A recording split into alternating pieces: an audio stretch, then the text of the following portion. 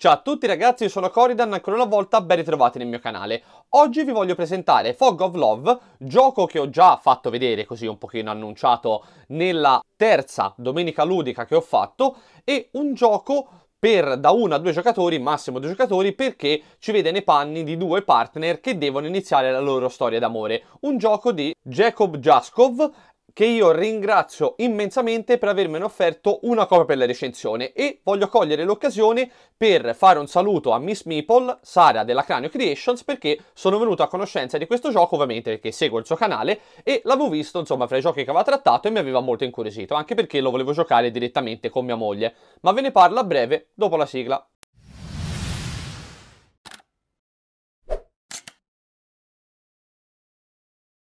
Fog of Love è un simulatore di relazione, ovviamente molto visto in chiave commedia, dove dovrete portare avanti appunto un rapporto ed è eh, diviso in varie, tra molte virgolette, avventure, o per meglio dire situazioni che vi potranno capitare. Ci sono all'interno, tanto ora lo vediamo, 4-5 pacchettini, compreso un tutorial, dove noi dovremo portare avanti la nostra storia d'amore. Ed è un gioco interessante perché dai primi giorni di conoscenza, dove dobbiamo scegliere dove portare il partner a cena, magari se andare a un cinema rispetto rispetto che a un teatro, rispetto che a un parco giochi o una, una camminata sulla spiaggia, ma soprattutto poi ovviamente si partirà da un primo momento dove ci sa le farfalle in pancia, come si suol dire, per andare più avanti e cercare veramente di capire che cosa vuole eh, l'uno dall'altro e dal rapporto, perché la visione del rapporto, questo non è un gioco di ruolo, sì, alla fin fine c'è anche quelle meccaniche lì, però dove voi dovete portare avanti un rapporto e vincete se riuscite a coronare il vostro desiderio, perché ognuno di voi avrà il suo piano. Inizialmente vi dovrete conoscere perché non vi conoscete, ma più avanti magari il giocatore A cerca di avere una notte di passione col partner B, mentre invece il partner B vorrebbe un rapporto più serio, oppure semplicemente il partner B cerca di prendersi e sposarsi il partner A perché è pieno zeppo di soldi e ricco. Quindi ognuno di noi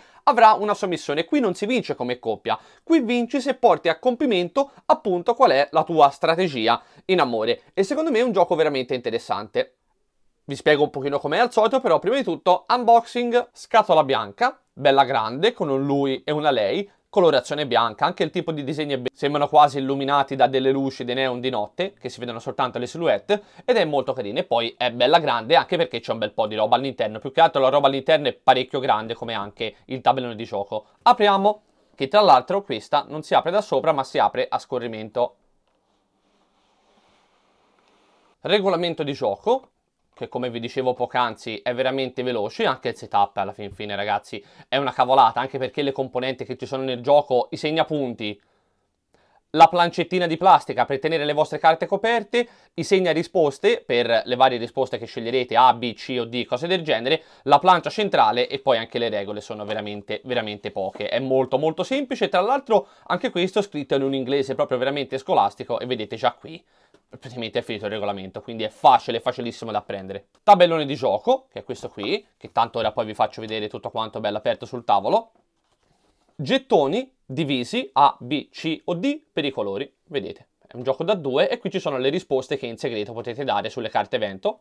Plancettine di plastica dove mettere le vostre tre carte che dovete tenere segrete e le dovete vedere soltanto voi e uno sbotto di mazzi di carte perché nel gioco ovviamente questo è un gioco che si basa tutto sulle carte e sulle scelte, vedete le varie opzioni che le carte vi danno. Quindi è tutto quanto un gioco che gira intorno alle carte e infatti come vedete insomma di materiale all'interno ce n'è veramente tanto. Divisori dove mettere vedete anche le vostre carte per dividerle anche direttamente nella scatola, carte drama, vedete tutto quanto, miscellaneous divisi anche per colori.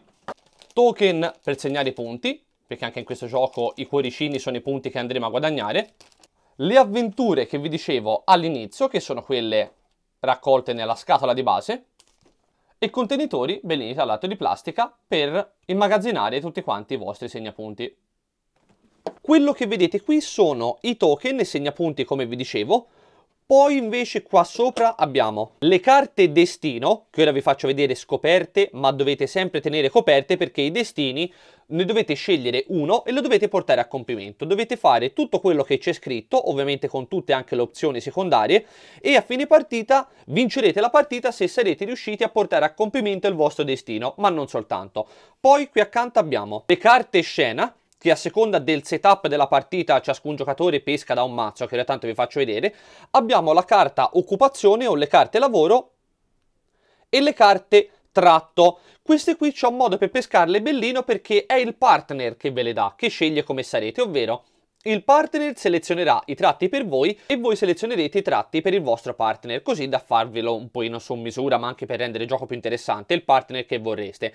Dovete scegliere ovviamente uno dei due personaggi dei colori, che cioè sia maschio che femmina dietro, noi abbiamo scelto la femmina, il colore rosa mettete un counter sullo 0 e ovviamente quando andrete a guadagnare punti questo farà il giro e come arriverà su 10 ci metterete un cursore qui al centro per ricordarvi appunto che i primi 10 punti saranno guadagnati e poi potrete andare avanti. Invece in questo tray che vedete qui davanti ci dovete mettere le carte tratto quindi i tre tratti della vostra personalità che dovranno stare qua su in cima. Le carte invece che vedete qui sono le carte feature rettifico rispetto a quello che ho detto prima, feature più lavoro. Questa è la carta Sinossi che vi dice qual è il setup ovviamente di questa avventura che andremo a giocare, avventura d'amore, che è la prima storia ed è quella tutorial, quella più facile che il gioco ci consiglia di fare. Qui avete tutto il setup su come andare a setappare. I punti che vedete che abbiamo messo qui sono quelli che avevamo riportato sui nostri lavori e sulle nostre feature. Quindi questa nostra feature ci diceva di mettere un punto positivo perché questi qui sono ovviamente la vostra personalità. Come vedete questa qui è la dimensione della personalità, che sopra è positiva e sotto invece è negativa e ci dice di metterne uno in positivo a Curiosity e l'abbiamo messo. Un'altra feature ci diceva invece di metterne uno positivo a Sincerity e l'abbiamo messo. L'occupazione, il nostro lavoro ci diceva di metterne uno positivo a Sensivity e lo mettete su e un altro ci diceva di metterne uno positivo a extroversion, che l'abbiamo messo qui. Quindi questi sono i tratti della nostra personalità di partenza. Poi, qua sotto avete i mazzi delle scene che sono Sweet col tondo, Sirius col quadrato e Drama con la stellina. Quando andrete a pescare, che ve lo faccio vedere a breve, il capitolo sarà il capitolo che vi dirà da quali mazzi dovete andare a pescare. Tenete conto che di partenza ciascun giocatore ha il suo mazzo di 5 carte e ve lo dice il setup del gioco da quali mazzi dovete andare a pescare. Nella prima avventura sono 3 da questo Sweet, 1 da Sirius e 1 da Drama. Potete tenere massimo 5 carte in mano. Regola vuole che come ne giocate una, sia che sia una scena maggiore o una scena minore, la carta la dovete, se è una scena minore, scartare qua giù. Se è una scena maggiore, metterla qua sotto nell'area di gioco che ora vi faccio vedere. Comunque in qualsiasi caso, appena ne giocate una, ne dovete ripescare un'altra dal mazzo attuale, quello in gioco a seconda del capitolo, non potete pescare il capitolo che volete. E qua giù ci sono tutti quanti i mazzettini che sono tratti, occupazione e feature, perché nel corso dell'avventura, della partita, potrete anche cambiare tratti, eh, perché uno può cambiare anche per, per amore o per il proprio partner o per la propria strategia sentimentale e relazione di coppia può cambiare anche tratti della personalità o soprattutto cambiare occupazione, perché si può anche cambiare lavoro. Ora vedete questa parte qui e questa parte di qua è dove dovreste andare a mettere tutte quante le vostre carte, che noi anche anche per spazio di tavolo non ci abbiamo messo e ve l'ho fatto vedere prima qua giù nella tray e tutti quanti i segnalini che abbiamo messo da parte. Comunque dovreste mettervi uno da una parte del tavolo qua e uno dalla parte del tavolo di qua. Poi, la prima cosa, ah, una cosa che avevo dimenticato, ci vengono incontro quattro segnalini del nostro colore, noi abbiamo scelto il rosa, che vedete hanno semplicemente i lato piombati A, B, c o D e questo serve per fare le scelte. Il giocatore blu metterà la sua scelta coperta da una parte, il giocatore rosa da quell'altra. Intanto noi le mettiamo da parte perché vi faccio vedere come funzionano. Si pesca la prima carta capitolo, che è questa qua. Si pesca, si gira e si va a leggere. Ah, una cosa, i destini, queste carte qui, devono stare segrete. I tratti devono stare segreti, tutto il resto perché tratti della vostra personalità che dovete cercare di magari volete mascherarli, cose del genere, non li dovete far vedere, tutto il resto ovviamente può anche essere discusso. È un gioco che mette anche un po' di componente RP, eh, quindi anche bene in un gioco del genere chiacchierare, però ci sono tante cose che non potete dire e nemmeno accennare, il manuale ve lo fa presente. Comunque, mettiamo in campo questa carta, la dovete mettere sempre qua giù, che è il capitolo 1, che ci dice possiamo pescare da questo mazzo qui. Quindi all'inizio della storia ovviamente c'è la dolcezza, c'è la voglia di conoscersi e tutto quanto, quindi per vedere se il rapporto partirà. Potete andare a pescare soltanto dal mazzo Sweet, questo qui col cerchio, quindi è quest'altro. E la lunghezza del capitolo è di 6 carte, quindi dopo che avete giocato 6 carte scena, una a testa, perché il turno è una io, una al partner, una io, una al partner, il capitolo finirà. Quindi, quando andate a giocare una carta a scena, la dovrete sempre mettere sopra questa qui, vedete no? Ci sono le scanalature, sempre sopra questa qui, lasciando visibile soltanto la parte in fondo, quindi da dove dovete andare a pescare e la lunghezza. Quando ci saranno sei scene, giocate alternativa, una voi, una al vostro partner, una voi, una al vostro partner, appena qua sopra ce ne saranno sei, il capitolo sarà finito, bisognerà risolvere il capitolo e andare avanti.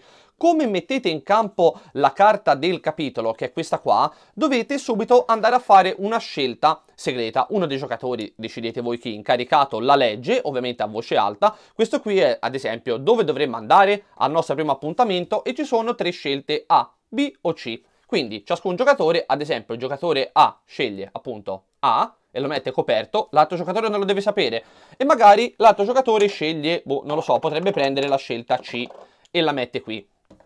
In fondo alla carta, che si rivelerà solo a fine capitolo, ci dirà i punteggi che guadagneremo perché vedete ci sono degli effetti qua giù. Che ne so se tutte e due hanno fatto la stessa scelta tutti guadagnano 10 punti. E allora voi andate ad aggiornare i punti che avete sulla vostra carta questa qui la metto qua almeno si vede. Andate ad aggiornare i punti e andate avanti. Se invece ci potrebbero essere delle scelte dove se scegliete la stessa cosa il giocatore e i giocatori invece di guadagnare vanno a perdere 5-10 punti e quindi scalate. Tanto sotto gli 0 punti non si può mai andare e le carte se ci hanno scritto carte scena minore ne potete giocare quante ne volete. Quante ne volete? Se avete in, in, mano tre carte scena minore, eh, le potete giocare tranquillamente e metterle poi le dovete scartare qua giù, solo le scene minori. Quelle normali e maggiori si mettono qua sopra.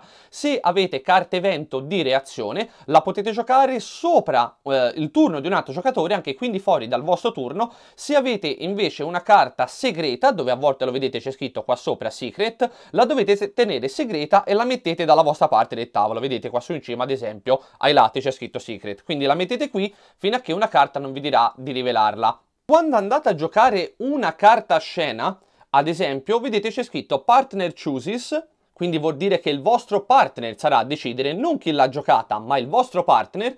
Quando invece giocate una carta che c'è scritto bot chooses, ovviamente invece dovete scegliere tutti e due. Quindi ciascuno di voi, ancora una volta lo vedete, dovrà fare una scelta, però questa scelta qui sarà sempre fatta con queste monetine che sono qui. Quindi girate, mettetele sempre qua su in cima, vedete la scelta, poi ok, hai fatto la tua scelta, va bene, giriamo, vediamo un po' e guardate la scelta e sempre dovete vedere in fondo il risultato. A seconda delle scelte che farete, i vostri tratti personalità, come vedete, andranno a salire o scendere, che ne so, se faccio la prima vado qua giù su quello arancione, guadagno 1 e quindi piglio un altro dei miei cursori e lo metto qua su su quell'arancione. Magari il giocatore blu aveva, fatto, aveva scelto la risposta B, che è questa qua giù con l'orologio e quindi magari ce n'aveva uno in positivo e ne dovrà mettere uno in negativo. Questa è una cosa che va sempre aggiornata, quindi ipoteticamente andando avanti nella partita potrebbe capitare una situazione come la seguente. Man mano che si va avanti ovviamente ci saranno punti messi da una parte rispetto all'altra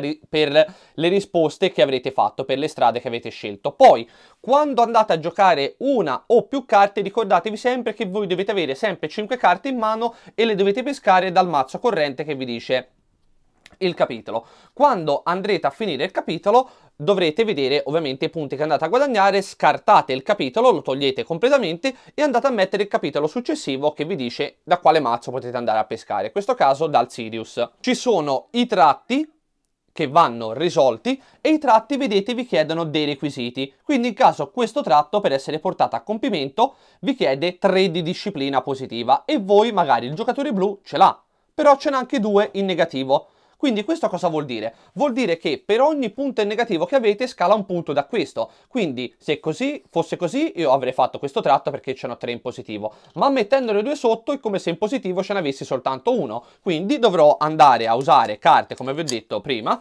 situazioni che mi permetteranno di mettere altri due punti qui. Perché quelli che ho in negativo o trovo la maniera di farli diventare positivi oppure in una maniera o un'altra li devo andare a compensare con altri. Quindi i tratti negativi vanno sempre a scalare da quello positivo. Ci sono situazioni situazioni dove dovrete fare una scelta insieme e vi dirà che potete lavorare di coppia. Quindi se a me ne servono 5 o 6 qua su in cima, però non del mio colore, ma anche con l'aiuto del partner, potete dire, ok, qui me ne servono ad esempio 4, sotto ce ne ho 2 che mi vanno a scalare, però posso essere aiutato da un altro, eh, dal mio partner che anche lui a sua volta ci ha messo dei cubettini colorati di token e quindi comunque anche in coppia superiamo la prova. Stessa cosa, poi si va a fare tutto quanto il giro, il punteggio e tutto quanto e eh, se vi posso dare un consiglio, giocatelo molto di interpretazione perché è la cosa più bellina. A volte anche nelle carte c'è scritto il giocatore, il partner A si mette a cantare. Oppure il giocatore andiamo al karaoke e il giocatore che ha giocato questa carta deve far finta di cantare una canzone. È un gioco che vuole essere appunto una commedia per ridere, non vuole essere sicuramente beautiful, quindi non vi deve far deprimere, dovete anche giocare un po' così con il vostro partner.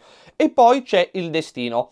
Voi di tutte le carte che avete dovrete scegliere un destino e a fine partita portarlo a compimento perché il vostro destino, che ne so, essere dominante, vi faccio vedere quelli che sono nella partita tutorial, oppure essere proprio una bella squadra amorosa, essere dei partner equi, o amore incondizionato. Amore incondizionato è quello che vi dicevo prima, che dovete far sì che il vostro partner sia particolarmente felice anche a discapito della vostra relazione. Comunque, dovete sempre fare le tre cose e e che ci sono scritte, quindi in questo caso la prima è che dovrei avere 4 punti in positivo qua su, quindi sempre quelli in negativo me lo fanno scalare, più tutte le altre cose che ci sono scritte. Ovviamente ragazzi è tutto quanto un gioco dove dovete giocare carte, ma la cosa bellina è che le scelte o le fate insieme bot, o se no a volte il vostro, voi giocate una carta ma è il vostro partner che deve decidere, quindi dovete anche, visto che tante cose sono segrete, dovete anche cercare di capire come in un rapporto vero il carattere del vostro partner. È inutile che gli mettete davanti una carta per portarla a vedere una partita di baseball quando sapete che lei vuole andare in discoteca a ballare, quindi magari non gliene frega niente